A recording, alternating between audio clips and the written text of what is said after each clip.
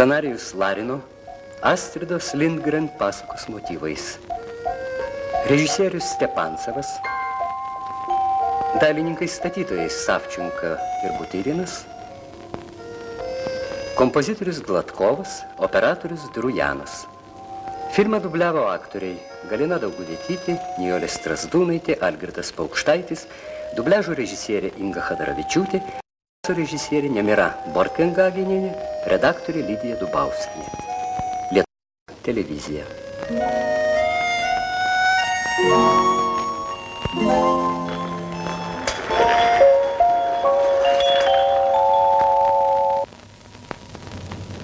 Vaikui reikalinga auklė kreiptis. Nedūsak, bus gerai.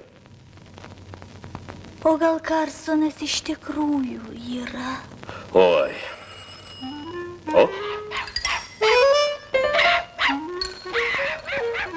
Tai Karsonas! Karlsonas sugrįžo.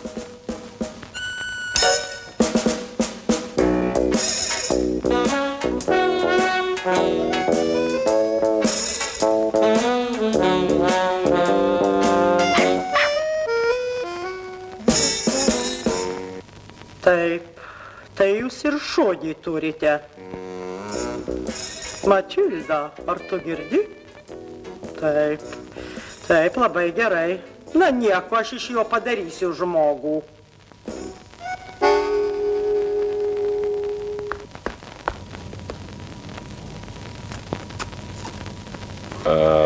Frekenbok, bok.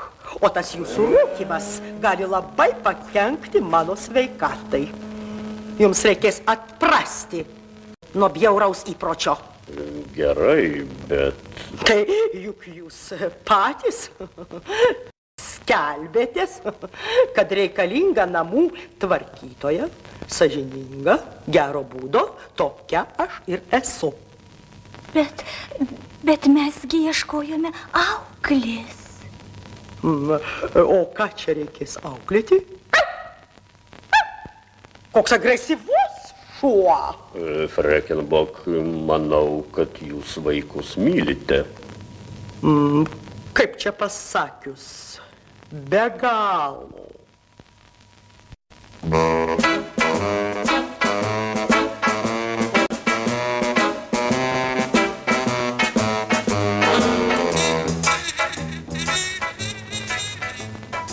Nu, eikite, ramiai dirbkite. Einu. Esu įsitikinus, kad greit nepažinsite savo vaiko. Dėkoju.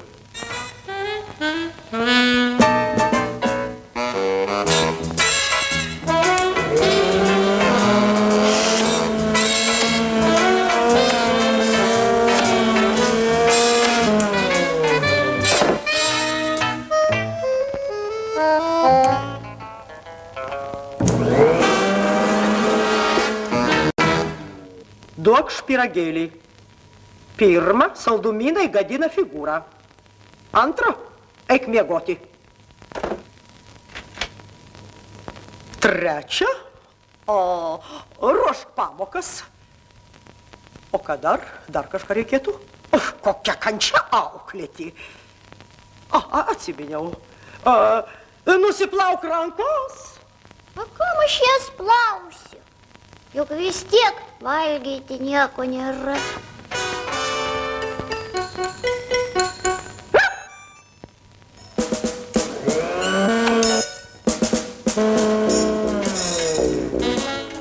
Matilda, ar tu girdi? Vaikeli mano, pažai su tuo žvėrim, tik tai saugokis. Šuo nešvarus.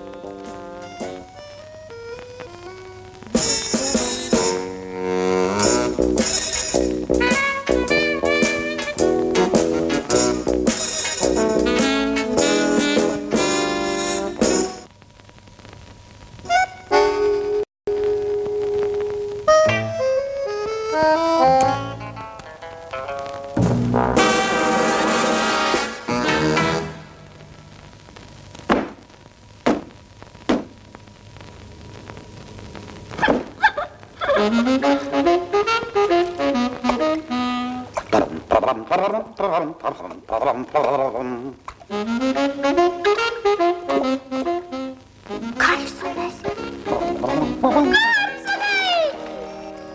Ko tu šūkauji? Visas žuvis man išbaidėjai. Sveikas, Karlsonai. Sveikas, mažylį. Kodėlgi tu manęs nepaklausai, kur aš taip ilgai buvau dingęs? Kur tu taip ilgai buvai dingęs? Aš buvau pas savo senelį. Taip, kad tu žinotum, kokia mano senelė. Senelį, mielasis. Pina.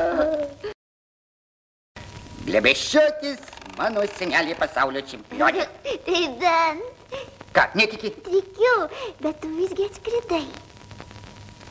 Atskridai. Pagalvo, ką kalbėjai. Argi su tokiu motoru galima skraidyti? Aš vos, aš vos randu nenusisukau. Na, klausyk.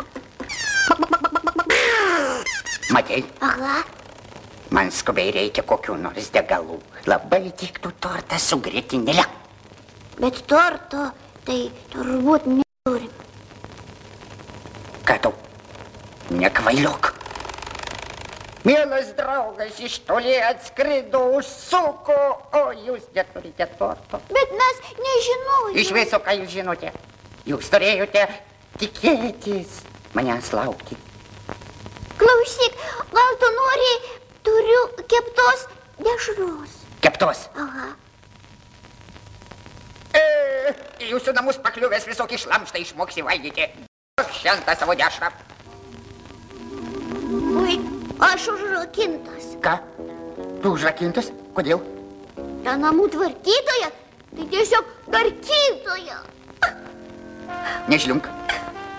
Nežliunk. Ar čia tu, ar aš žliumbiu?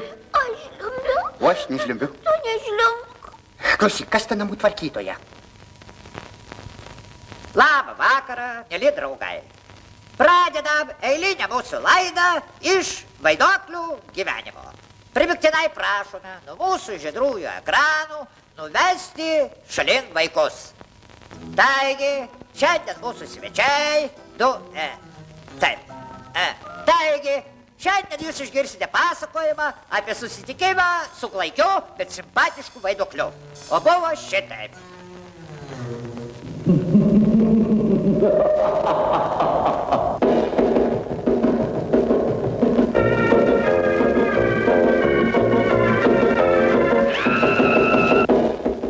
Bjauru žiūrėti.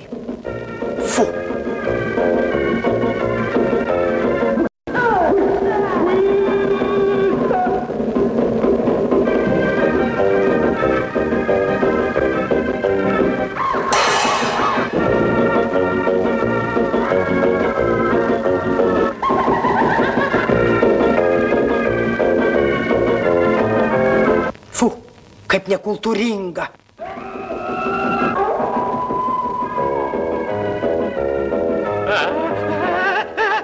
Mama! Matilda. Matilda! Ar tu apkurtai? Rodos aš tau sakau. Kur tai matyta? Televizorius rodo sukčius. Kuo aš blogesnė? Kvailystė. Ah! Taigi, mėly draugai, jei žinote, ką nors apie vaiduoklių gyvenimą, labai prašome pranešti redakcijai. Mūsų telefonas 223 D 322 223 322. Nežliunk. Nežliumbiu. Tai ir nežliunk. Nusiramink. Tik tai nusiramink. Klausyk. Na, atspėk, kas yra geriausias namų tvarkytojų tramdytojas? Kas? Nežinai. Savaime aišku, kad... ta- Taigi, skrendam. Klausyk, kodėl tu man aną kartą melavai? Ką? Kad tau septyneri metai. O kiek? Tu sveri daugiau kaip aštuonerių.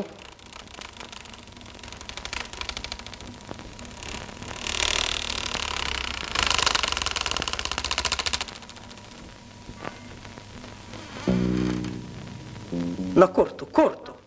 Na išdykėlį išlysk. Kuku!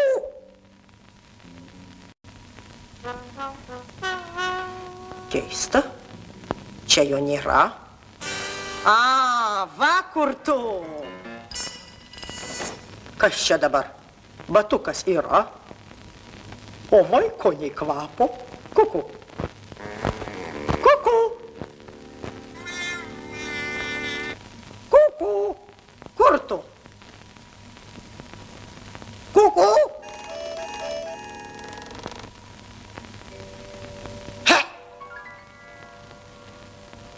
O kur tu buvai?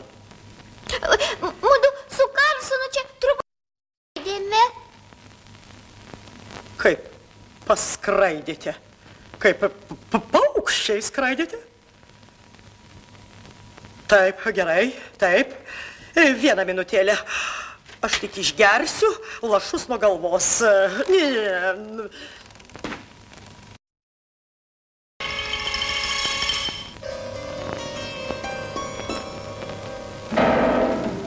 Kuku.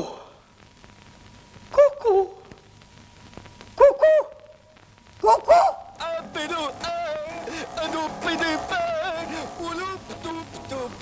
Oi, kaip klaiku. Klausyk, juk tai tikras siaubas. Jūsų namuose atsirado kalbanti galva. Štai, štai, štai jinai mus žiūri. Kad tu televizoriaus nematėjai. Nemačiau. Va. A. Klausyk, bet kurgi kojos? Na, palauk, aš to jau viską sužinosiu. Tai bent.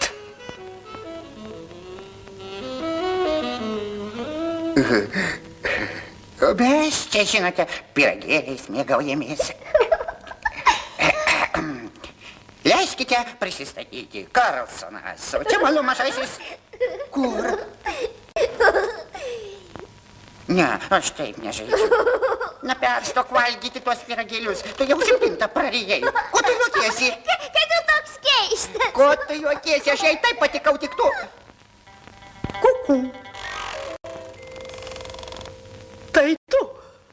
Kuku, mano berniuk. Ola, oi kaip gerai. La la la la la, la la la la la.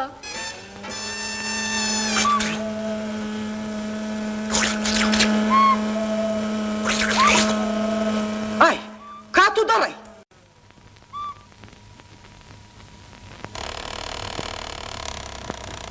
Kas čia dedasi? Kas čia dedasi? Nieko. Nieko nėra.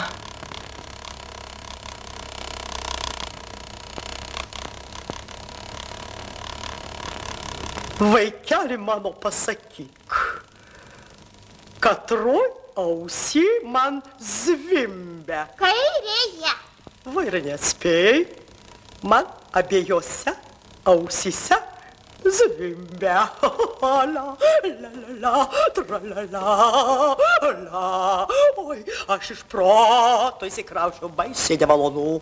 Dabar žinai, kas geriausias namų darkytojų tramdytojas. Oi, Pagaliau jau nustojo zvimbti. Ai! Kas čia dabar? Galva savo vietoj. Kėdė irgi vietoj. madam. Be kita ko, mademoiselle. Tegul bus mademoiselle.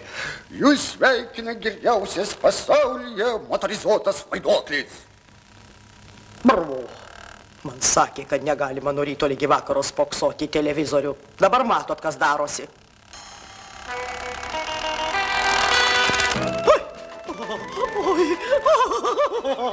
nenoriu, aš bijau.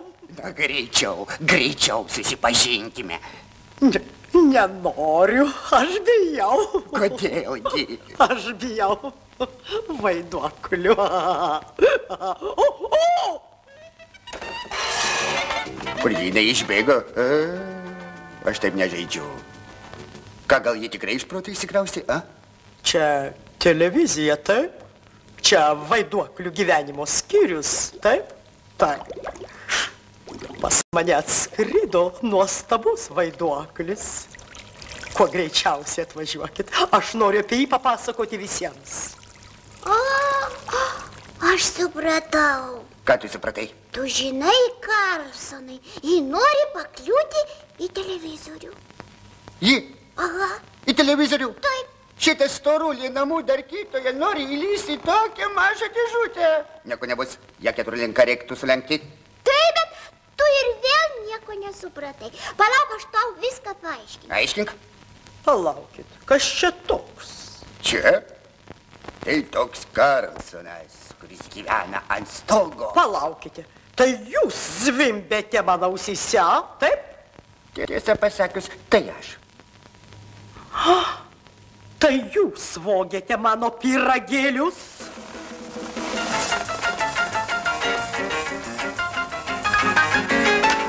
Stop! Jūsų pienas išbėgo. Dievuliau, pienas išbėgo. Palaukit, koks pienas? Ant mano viryklos nėra pieno.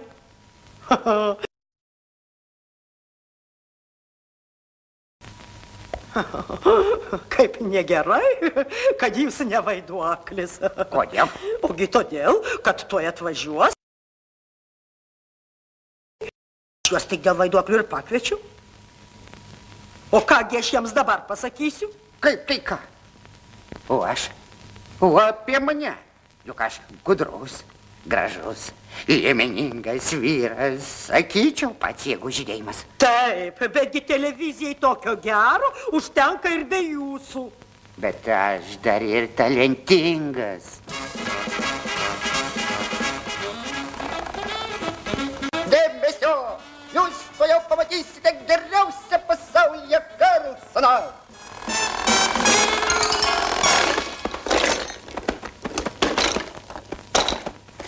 嗯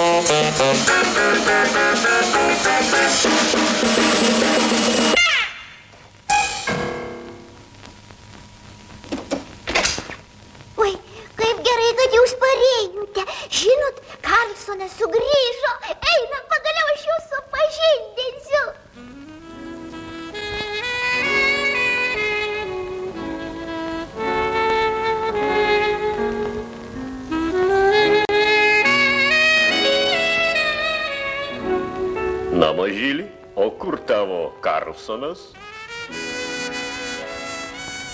Jis išskrido, bet žadėjo sugrįžti, mielas. Gerut.